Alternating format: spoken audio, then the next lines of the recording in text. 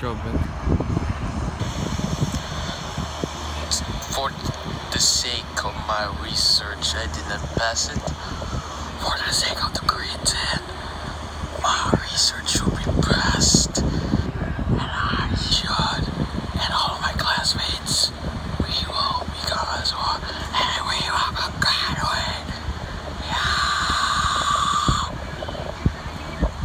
That's, That's a special code, number two. For my levitate mix. Yeah, of course. For the sake of my research and all my subjects, me and my grade 10, we will graduate. I don't even care. If my research will go down and incomplete, I will still fight for it. That's my secret code, ladies and gentlemen. Got the hydro guys, which is.